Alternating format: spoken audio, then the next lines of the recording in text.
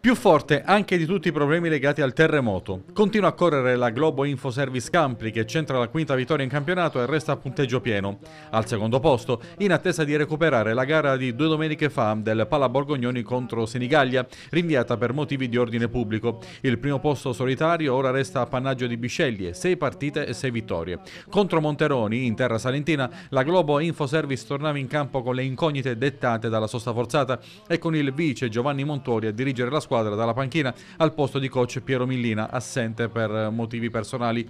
Con Duranti e Serafini nello starting 5 e Gatti e Petrucci pronti ad uscire dalla panchina, Campri ha preso progressivamente il comando delle operazioni, 9-18 nel corso del primo quarto, chiuso poi sul 15-20. Nella seconda frazione, dal 27 a 33, il quintetto farnese ha impresso un ulteriore sprint per andare all'intervallo lungo sul più 11, 29 40.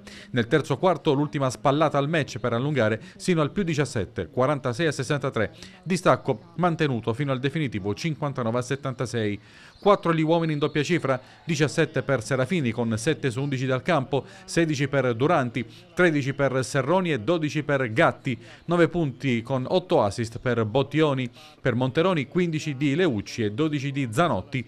Una vittoria che la Globo Info Service ha voluto dedicare a tutti quei cittadini e sportivi farnesi che a causa del sisma non stanno vivendo un periodo sereno o peggio ancora hanno avuto problemi alle loro abitazioni.